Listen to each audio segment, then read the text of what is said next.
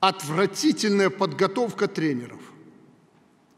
Мы проигрываем тем командам, которых мы два года назад на одном коньке обыгрывали. Противно смотреть на игру, что Минского «Динамо», что сборных команд. Это работа тренеров. Сегодня тренеру выпускаем в три раза больше, чем работает тренеру. Примите меры, чтобы, закончив образование, получив тренер и шел работать тренером. Нет, лишайте его диплома. Но это такая работа там, в этом учебном заведении.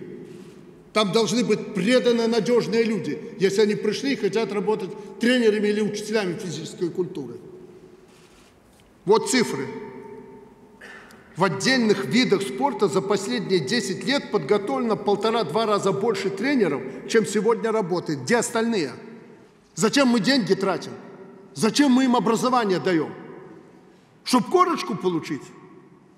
Очевидно, что молодые специалисты остаются там, где руководитель проявляет заинтересованность и создает условия для работы и жизни.